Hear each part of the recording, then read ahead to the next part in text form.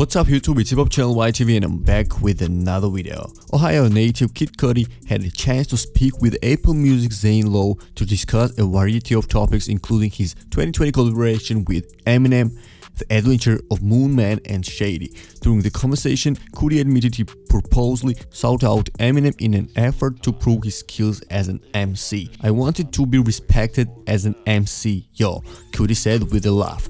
Who do I spar with? Go bar for bar with Eminem. I tweeted at him in my timeline. I was like, yo, rap got help.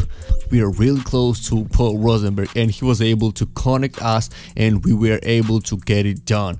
He was in Detroit and I was in LA. It was a nail biter. They are asking questions they didn't say he's going to do it yet. Every day I was like, it's today going to be the day I got it and I was like, damn.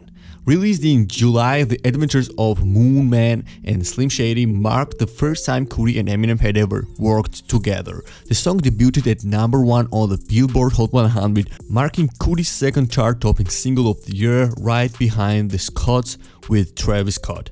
It was the Astroworld phenomenon who encouraged him to keep rapping.